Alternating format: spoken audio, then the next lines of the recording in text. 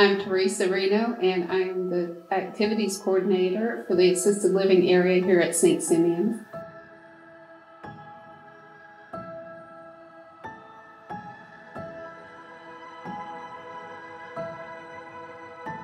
I've worked here at St. Simeon's for 23 and a half years, and um, most of that time, almost all of that time, was in activities. I worked for a short time as a site tech in the Memory Center before coming on to the activities department, but um, it's been just like a blessing for me because a lot of jobs you dread going to work, but this one, even when I know I have a ton of paperwork, I know that I'm going to walk in where the residents are and you don't have a job that you can get otherwise where people tell you how much they love you and you're beautiful no matter what you look like that day, you're beautiful. It's one of the biggest bonuses to this job.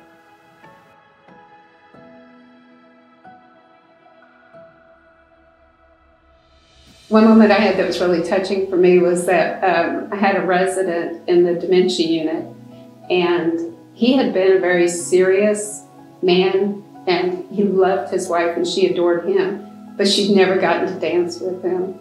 And we had an entertainer here performing, and she came in, and I had got him to get up to dance with me.